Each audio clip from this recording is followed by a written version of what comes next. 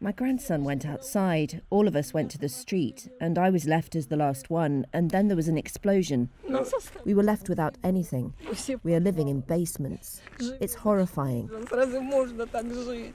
What for? Tell me, what for? What are we guilty of? In whose eyes are we guilty?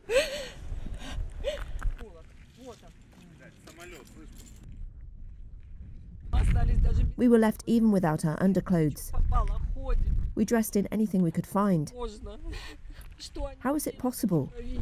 What are these leaders doing? What is it for? What have we done to them?